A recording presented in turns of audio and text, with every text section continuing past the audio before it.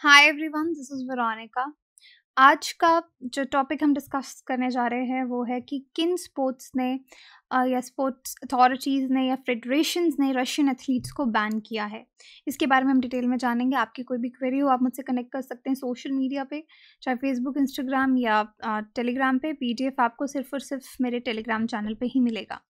बाकी मैं आपको बता दूँ आज के दिन के लिए दो ऑफर्स हैं आपके लिए। आप वीरो थ्री थ्री कोड यूज़ करके आपको दो फ़ायदे होंगे। एक तो डबल वैलिडिटी आप ले सकते हैं plus thirty three percent discount. दोनों चीज़ें आपको ये डिस्काउंट कोड यूज़ करके मिलेंगी। सो so, अगर आप कोई भी कोर्स लेना चाहते हैं you can use this discount code.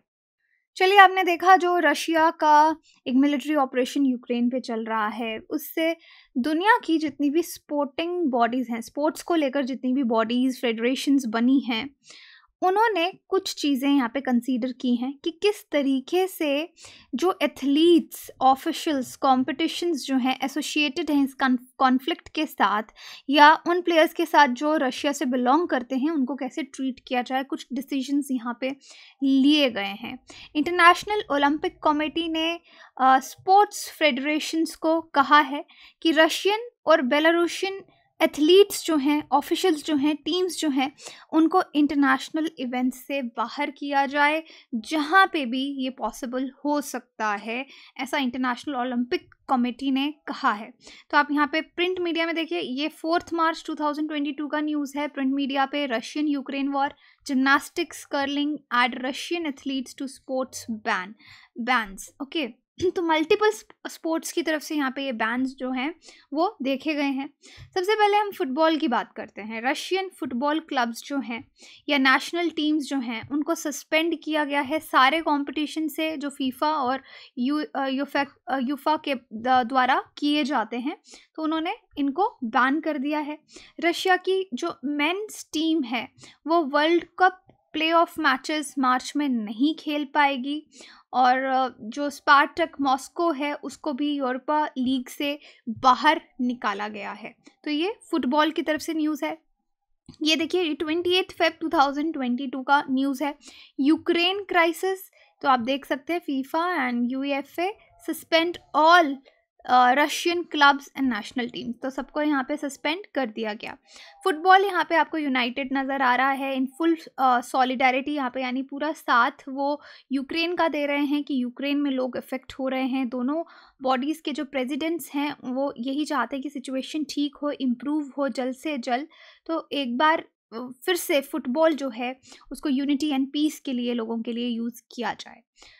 Next is your winter Paralympics अब रशियन एंड बेलारूशियन एथलीट्स जो हैं, उनको देखिए अलाउ किया जाएगा कि वो पार्टिसिपेट कर सकते हैं एज न्यूट्रल्स यानी वो रशिया और बेलारूस के झंडे के नीचे नहीं खेल सकते। एज अ न्यूट्रल इंडिपेंडेंट अगर खेलना चाहते हैं 2022 पैरालंपिक विंटर गेम्स में बीजिंग में तो खेल सकते हैं। ऐसा इंटरनेशनल पैरालंपिक कमेटी ने आईपीसी ने अनाउंस किया है। और ये भी कहा है कि अगर वो खेलेंगे यहाँ के प्लेयर्स तो उनको पैरालंपिक फ्लैग और पैरालंपिक एंथम के अंदर खेलना होगा और उनको मेडल टेबल के लिए इंक्लूड नहीं किया जाएगा। इसका मतलब आप रशियन फ्लैग और बेलारूस के फ्लैग के नीचे वहाँ से रजिस्टर करके नहीं खेल सकते। तो कोई भी रशियन डेलीगेशन है अब इनके, अगर आप देखेंगे तो रशियन डेलीगेशन जो भी खेलती हैं, उन पर एक आरपीसी का सिंबल होता है उनकी यूनिफॉर्म्स में, जो वो ऑफिशियल सेरेमनीज़ में यूज़ करते हैं स्पोर्टिंग कॉम्पिटिशन्स में यूज़ करते हैं। तो डेलीगेशन को कहा गया है कि आपको ये सिंबल जो है उसको कवर करना है। और बेलारूस डेलीगेशन को भी कहा गया कि बेलारूस के फ्लैग्स जो उनके यूनिफॉर्म पे हैं, सारे ऑफिशियल सेरेमनीज और स्पोर्टिंग कॉम्पिटिशन में उनको कवर करने के लिए कहा गया है। आरपीसी क्या है? Russian Paralympic Committee. तो ये एक तरीका है जो ये रशियन पैरालंपिक कमेटी है, जिससे रशियन एथलीट्स पैरालंपिक्स में खेल सकते हैं। क्यों? आरपीसी क्यों बनाया गया था?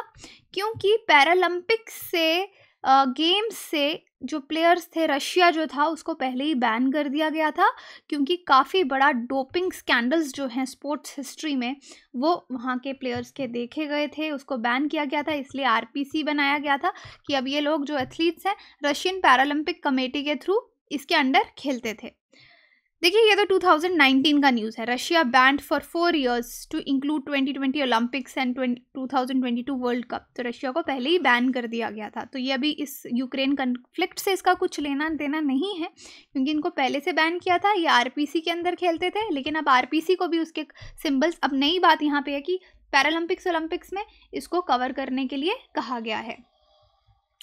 नेक्स्ट इज़ योर रग्बी जो वर्ल्ड रग्बी है उसने भी सस्पेंड कर दिया है रशिया और बेलारूस को सारे इंटरनेशनल रग्बी और क्रॉस बॉर्डर रग्बी एक्टिविटीज़ से। आ, उनकी मेंबरशिप सस्पेंड कर दी गई है। रग्बी यूरोप जो है सेकेंड ईयर यूरोपियन रग्बियन रग्बियन जो चैम्पियनशिप है वो ईआरसी e जिसको बोलते हैं वो होता है। और इन्होंने ये डिसीज़न लिया है इस साल के टूर्नामेंट के लिए इनको सस्पेंड कर दिया गया है।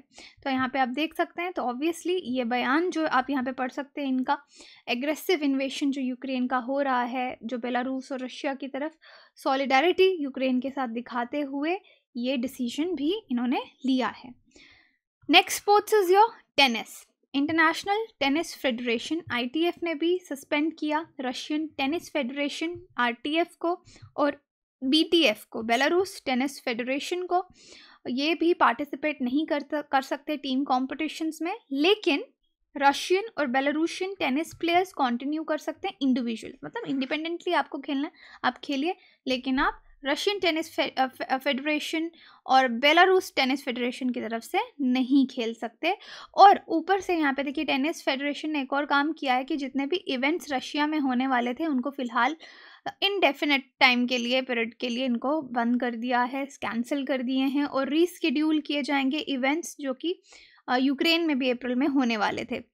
वुमेन टेनिस एसोसिएशन जो है डब्ल्यू और मेंस एसोसिएशन एटीपी इन्होंने भी सस्पेंड कर दिए कंबाइंड इवेंट, जो मॉस्को में होने वाले थे अक्टूबर में। और जो प्लेयर्स हैं रशिया बेलारूस के, उनको अभी भी अलाउ किया जाएगा कि वो खेल सकते हैं, बट वो रशिया और बेलारूस के झंडे के नीचे नहीं खेल सकते। Individually they can play. Okay? अब फॉर्मूला वन नेक्स्ट ये भी टर्मिनेट कर दिया इन्होंने अपना कॉन्ट्रैक्ट रशियन ग्रैंड प्रिक्स के साथ. सितंबर का रेस जो सोची में होने वाला था, उसको भी कैंसिल कर दिया है. एंड अब कोई भी रेस जो है सेंट पीटर्सबर्ग जो कि रशिया में है, वहाँ नहीं होगा, क्योंकि 2023 में होने वाला था. और रशियन ड्राइवर्स जो हैं, उनको भी बैन कर दिया है कि वो यूके में कम्पीट नहीं कर सकते. ये National Motor Sport Authority Motor Sport UK उनका अनाउंसमेंट है। तो यहाँ पे आप देख सकते हैं फार्मूला वन में भी इन लोगों को बैन किया गया है। उसके बाद समर ओलंपिक स्पोर्ट्स जो हैं तो मैंने आपको ऑलरेडी बताया रशिया के जो एथलीट्स थे, उनको पहले ही बैन उन पर लग रखा था डोपिंग वायलेशंस की वजह से। लेकिन कुछ रशियन एथलीट्स को अलाउ किया था कि वो न्यूट्रल एथलीट्स हो के ऑथराइज न्यूट्रल एथलीट्स के तौर पे खेल सकते हैं टोक्यो ओलंपिक्स में। अब ये जो रिस्पॉन्स किस चीज़ का दिया जा रहा है? ऑब्वियसली जो रशिया अटैक कर रहा है मिलिट्री ऑपरेशन जिसको वो कह रहे हैं यूक्रेन पे तो ये सारे डिसीजंस लिए गए हैं। जितने भी एथलीट्स हैं सपोर्ट पर्सनल हैं, या ऑफिशियल्स हैं रशिया बेलारूस को उनको पार्टिसिपेट नहीं करने दिया जा रहा किसी भी वर्ल्ड एथलेटिक सीरीज़ में या इवेंट्स में जो कमिंग फ्यूचर में दिख रही है, और ये इमीडिएट इफ़ेक्ट से ये सब ऑर्डर्स निकाले गए हैं। इसके बाद देखिए जिस तरह से साइकिलिंग गवर्निंग बॉडी है यूसीआई उन्होंने भी रशिया को रशियंस को और बेलारूशियन नेशनल टीम्स को बैन कर दिया कि वो किसी इवेंट में पार्ट नहीं ले सकते। जो भी यूसीआई कैलेंडर उन्होंने निकाला है और यूसीआई स्टेटस से भी उनको हटा दिया गया है। जो छः टीम्स थी उन कंट्रीज़ की including the pro tour Gazprom RusVelo team इसको इंक्लूड करते हुए इन सबको बैन कर दिया है। और उन्होंने कहा कि वो कोई भी टीम एप्लीकेशन या रिक्वेस्ट जो है इन दोनों कंट्रीज़ में कोई भी इवेंट होस्ट करने के लिए वो नहीं लेंगे। लेकिन जो साइकिलिस्ट हैं रशिया और बेलारूस के, उनको अभी भी अलाउ किया जाएगा कि वो न्यूट्रल कॉम्पिटिटर्स के तौर पे खेल सकते हैं, अगर वो खुद को रजिस्टर करवाते हैं किसी ऐसी टीम के साथ जो इन दोनों देशों से नहीं है। रशिया और बेलारूस से नहीं है, अगर आप किसी और टीम में खुद को रजिस्टर करवाते हो एज अ न्यूट्रल कॉम्पिटिटर तो आप खेल सकते हो। तो इन शॉर्ट आप देख सकते हैं कि जितने भी स्पोर्ट्स हैं, आप बस रशिया और बेलारूस के फ्लैग के अंदर नहीं खेल सकते। मोस्टली आपको एज अ इंडिविजुअल या न्यूट्रल एथलीट के तौर पे खेलना जो है, वो अलाउ किया गया है। नेक्स्ट स्विमिंग गवर्निंग बॉडी जो है फिना उसने भी एक अवार्ड दिया था रशियन प्रेसिडेंट व्लादिमीर पुतिन को 2014 में। तो वो भी वापस ले लिया गया है। Until further notice no athlete or official from Russia or Belarus can participate in an event and represent their country तो स्विमिंग बॉडी में ने भी सेम डिसीज़न लिया है कि अगेन न्यूट्रल एथलीट्स के तौर पे कर सकते हैं, लेकिन रशिया और बेलारूस की तरफ़ से नहीं खेल सकते। वर्ल्ड रोइंग जो है, उस, उसमें, उसने भी रशियन और बेलारूशियन एथलीट्स, ऑफिशियल्स को इंटरनेशनल कंपटीशन से इमीडिएट इफ़ेक्ट के साथ बैन किया है। वर्ल्ड टाइकांडो के साइड पे आप देखेंगे, वो बोलते हैं, peace is more precious in triumph. In this regard, World Taekwondo has decided to withdraw honorary ninth dan black belt conferred to mister Putin in November 2013 तो यहाँ पे आप देख सकते हैं कि स्पोर्टिंग अथॉरिटी ने जहाँ जहाँ कुछ अवार्ड्स व्लादिमिर पुतिन को दिए थे तो वो वापस ले रहे हैं वो।